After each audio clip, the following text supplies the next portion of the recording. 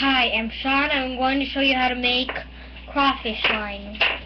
First, you'll need hooks on line and two clip-on weights. One of the weights has to be bigger than the other. And then you'll have the end of the line where the hook is. Clip on the smaller, the smaller, smaller, smaller weight. And about like six inches away, put the bigger weight. And there's like a nice bait that I recommend. Salmon eggs. They earlier I tried it, they liked it a lot.